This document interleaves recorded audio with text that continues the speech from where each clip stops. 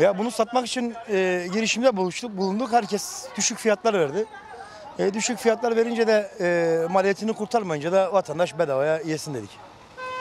Yani bizim de ayrımız olsun dedik. Talep yoğun evet. Herhalde biraz sonra biter. Tahmin ediyorum herhalde bir şu ana kadar bir 10 ton falan gitti.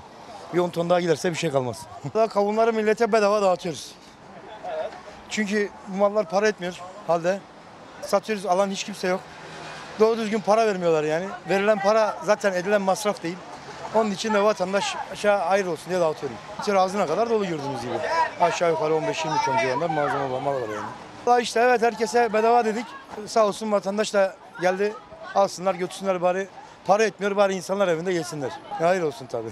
Bu burada bak kardeşimiz para etmese bile getirmiş bak halka dağıtıyor bedava yesin içsinler diyor. Ama bazı arkadaşlarımız götürüyor kimsenin olmadığı yerlere para etmeye dö- döküyor yani olur mu yazık günahtır onlar da dağıtsın birader. Yani ne var bak sevaba giriyor adam veriyor. Allah razı olsun bin yüz bin kere. Bu kavunu dağıtanların dünyadan gelmiş geçmişlerin ruhuna varsın. Gazilerimizin de ruhuna varsın. Ne yapalım Allah razı olsun. Emekleri sağ olsun. Talep iyi. İyi. Mi- Millet beleş olunca dağıtı alıyor. Ne yapalım Allah razı olsun hepsinden. Burada ne yapılıyor? Kavun dağıtılıyor. Garibanlara. Satılmadığı için. Kalabalık. Ben bir tane alacağım. Ne yapayım? Çağırıyor çocuk. Bir tane alıp yiyeceğim. Anne. Bir tane daha verelim. Küçüm